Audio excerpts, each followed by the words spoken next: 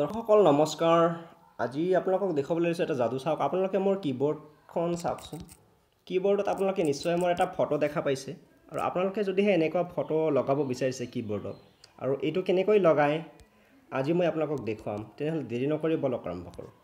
ইয়াৰ কাৰণে প্ৰথমতে কৈছোঁ যদিহে আপোনাৰ মোবাইলটো ভিভ' মোবাইল হয় তেনেহ'লে আপোনাক একো কৰিবলগীয়া নাই।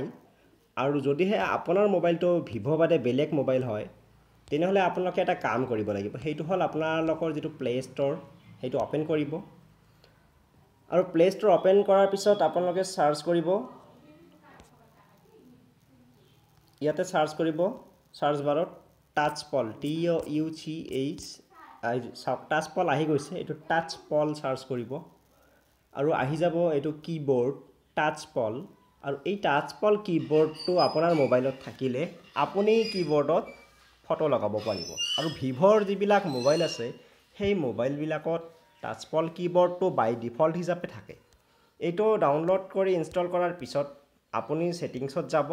ছেটিংছত গৈ আপুনি এইটো যিটো কীবৰ্ড ডাউনলোড কৰিলে সেইটো আপোনাৰ ডিফল্ট কীবৰ্ড হিচাপে ছেট কৰি ল'ব। ইয়াৰ কাৰণে ছেটিংছত যোৱাৰ পিছত যাব লেংগুৱেজ এণ্ড ইনপুট ইয়াৰ পিছত যাব ভাৰ্চুৱেল কীবৰ্ড ইয়াৰ পিছত ছিলেক্ট কৰিব টাচপল ঠিক আছে?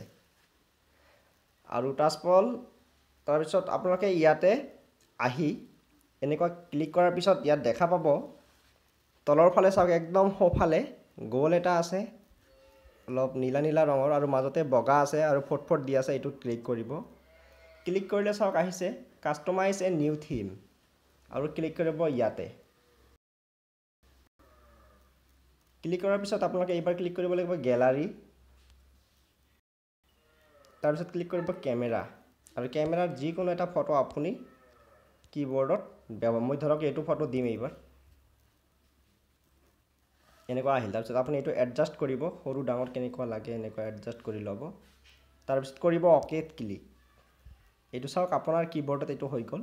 ইয়াৰ পিছত আপোনালোকে ইচ্ছা কৰিলে টেক্সট কালাৰ এইটো চেঞ্জ কৰিব পাৰে। টেক্সটৰ কালাৰ কেনেকুৱা লাগে? ক'লা দিলেই ভাল ইয়াৰ পিছত কীবৰ্ড ট্ৰান্সপাৰেঞ্চি ফটোটো বেছি দেখাব নে লেখাবোৰ বেছি দেখাব এইটো চাওক এইটো কম বেছি কৰি ল'ব পাৰে এনেকুৱা। তাৰপিছত আপোনালোকে ক্লিক কৰিব এইটো যিটো টিক চিন আছে ৰাইট চিন আছে এইটোত ক্লিক কৰিব। আৰু ছেভিং থিম আপোনাৰ থিম যিটো এইটো ছেভ হৈ গ'ল। ঠিক আছে। আৰু এইবাৰ যদিহে আপোনালোকে আপোনালোকৰ যিটো কীবৰ্ড সেইটো চাব বিচাৰে আপোনালোকে মেছেজত যাওক বা যিকোনো এটা যাওক যে কীবৰ্ডটো লৈ আহক আহিলে দেখা পাব যে আপোনাৰ যিটো কীবৰ্ড সেইটো আপুনি দিয়া ফটো ছেভ হৈ গৈছে বেকগ্ৰাউণ্ডত এনেকৈ আপোনালোকে নিজৰ মোবাইলৰ কীবৰ্ডত আপোনাৰ নিজৰ ইচ্ছা অনুসৰি ফটো ছেভ কৰি ল'ব পাৰে। আশা কৰিছোঁ ভিডিঅ'টো আপোনালোকৰ ভাল লাগিছে। ভাল লাগিলে লাইক আৰু শ্বেয়াৰ কৰি দিব।